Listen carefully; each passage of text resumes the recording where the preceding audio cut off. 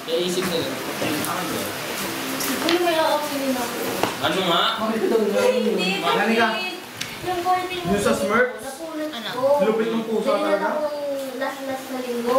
Bibidyo ko sa English.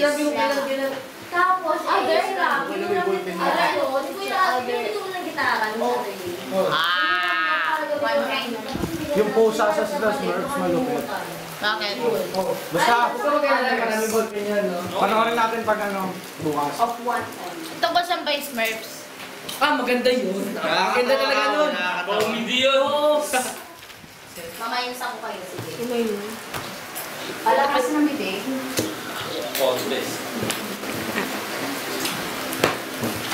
Ang ganyan. Lagi na ang Enticement.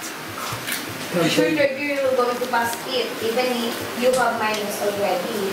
Because you already, diba kahapon, sabi ko before you go home, Sabi ni Hodong, negative.